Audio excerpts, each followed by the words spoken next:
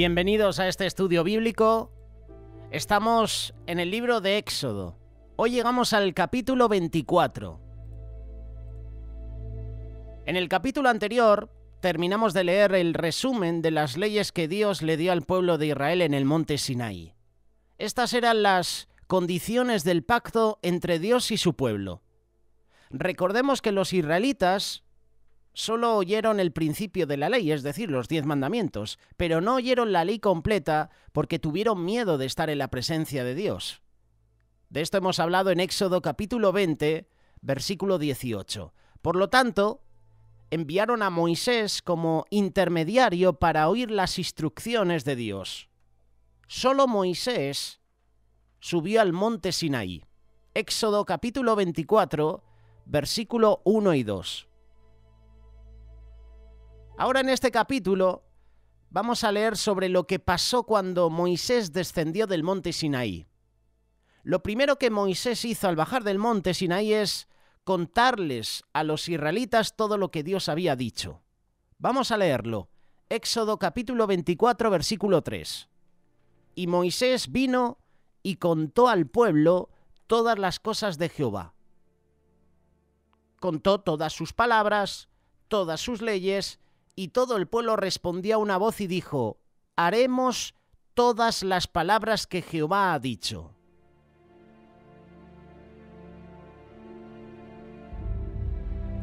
Esta es la confirmación del compromiso que los hijos de Israel ya habían manifestado anteriormente.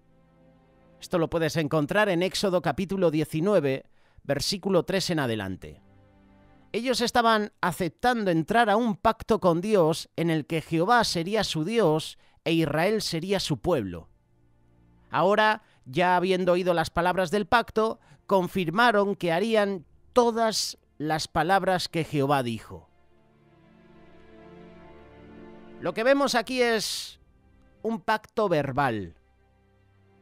Luego de aceptar verbalmente el, compromiso entre Dios e Israel, Moisés prosiguió a poner todas las leyes por escrito. No solo las leyes se quedaban en el marco de las palabras, palabras que a lo mejor en un futuro se las podría llevar el viento, sino que ahora Moisés procede a escribirlas. Y Moisés escribió todas las palabras del Señor. Éxodo capítulo 24, verso 4. Esto es como un contrato el acuerdo debe quedar por escrito. Y Moisés escribió las palabras de Jehová.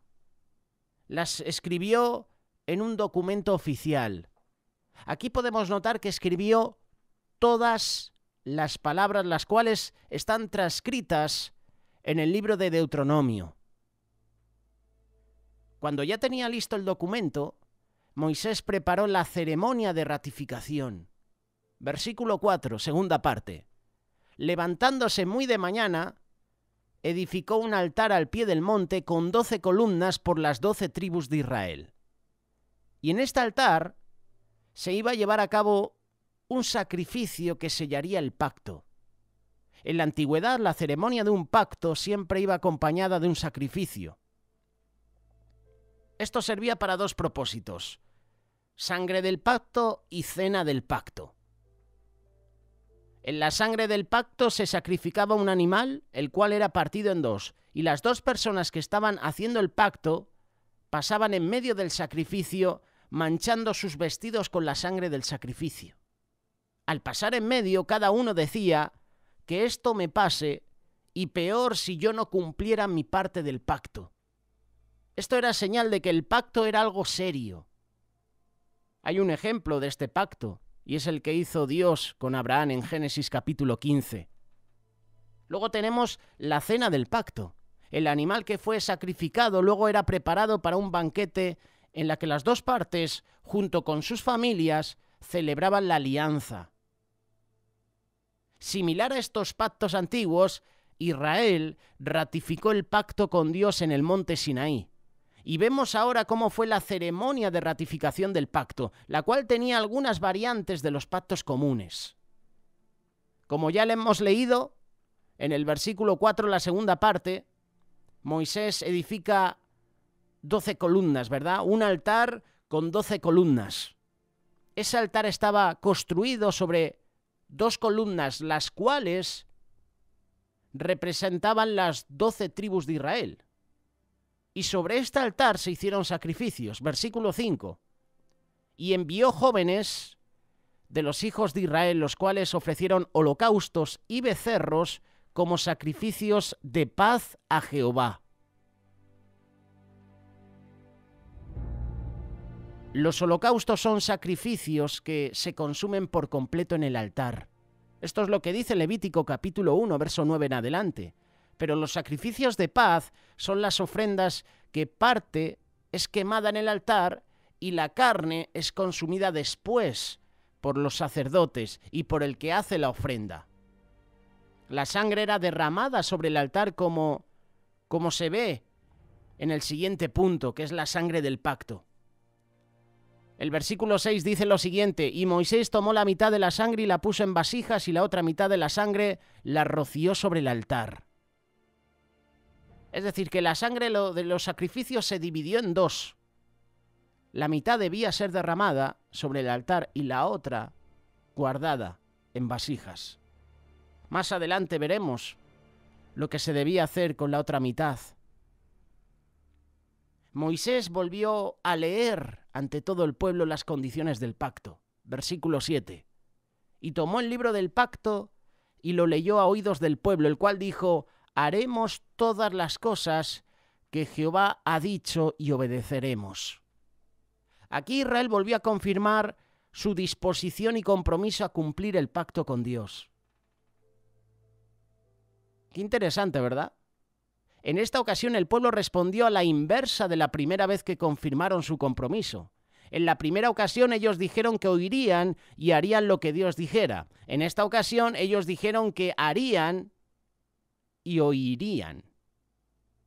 Interesante, ¿verdad? Lo lógico es primero oír y después obedecer lo que se oyó. Pero en esta ocasión muestran su buena intención al estar dispuestos a hacer cualquier cosa que Dios les pida, aún antes de saber qué es lo que Él quiere.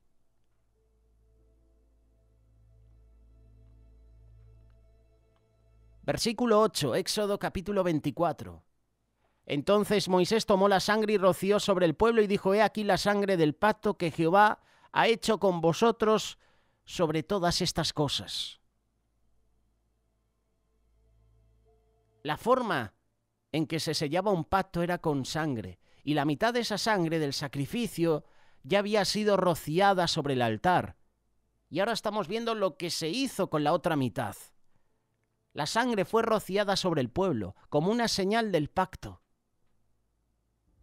A lo mejor estás pensando, qué, qué, qué escena, ¿no? Parece una película de, de terror, ¿no? Sangre, pactos, sacrificios. Esto es lo que se hacía en el Antiguo Testamento. Los israelitas estaban comprometidos con Jehová, lo reconocieron como su Dios, se comprometieron a obedecerle.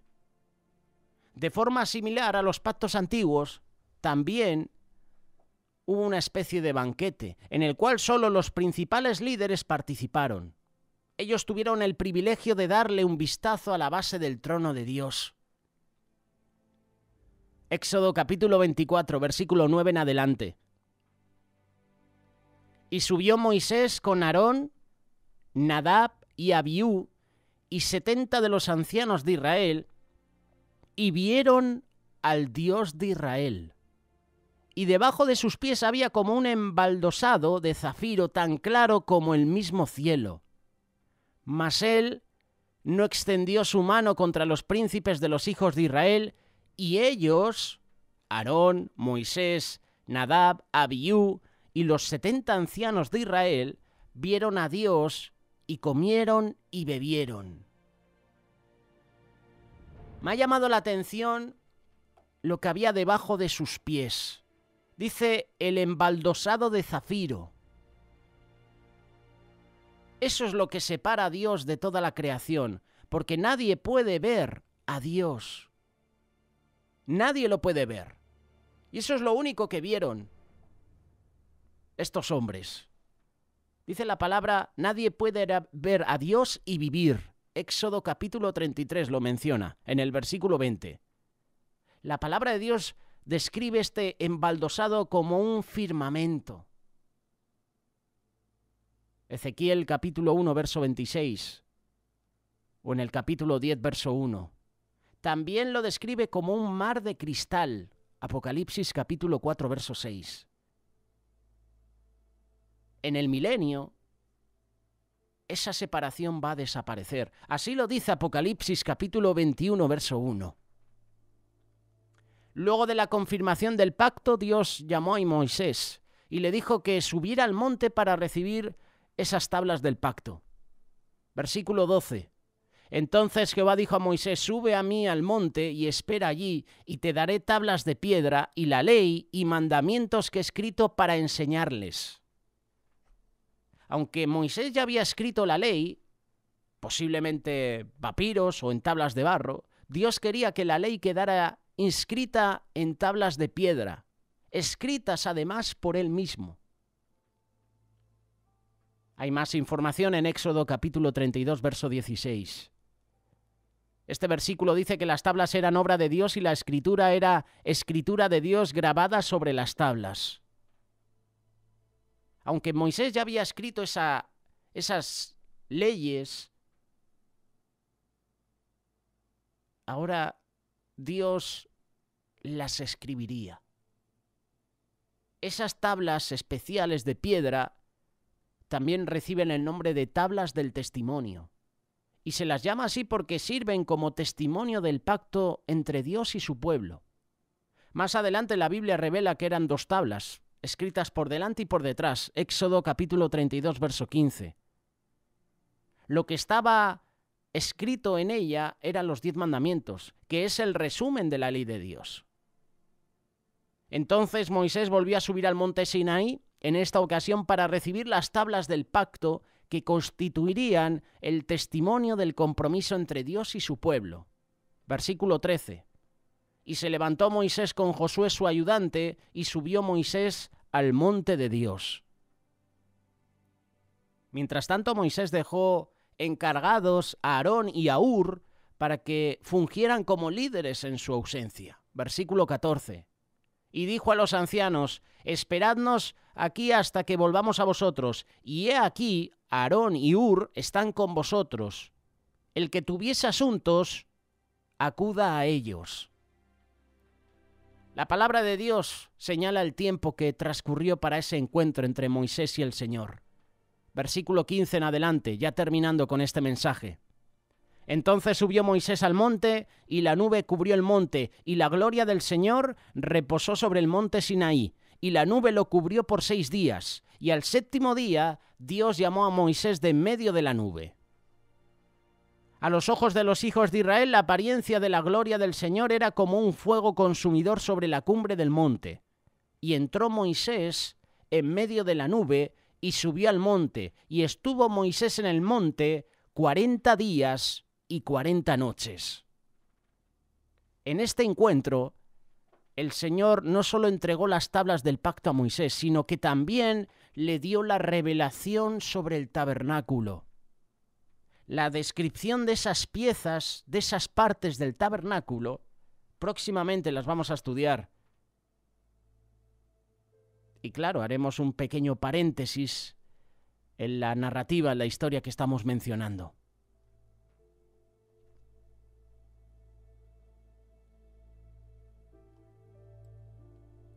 Esta es la ratificación del pacto, Éxodo capítulo 24. Te invito a que lo leas si tienes tiempo en tu casa.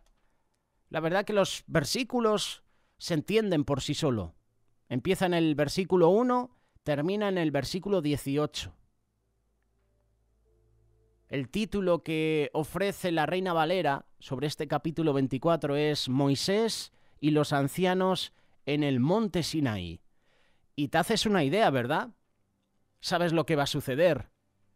No te voy a hacer spoiler porque seguramente conoces la historia, pero Moisés descenderá del monte con las tablas y verá al pueblo con el becerro de oro. lo que habían prometido hace un ratito atrás, hace unos días atrás, porque Moisés estuvo 40 días y 40 noches en el monte, en la presencia de Dios.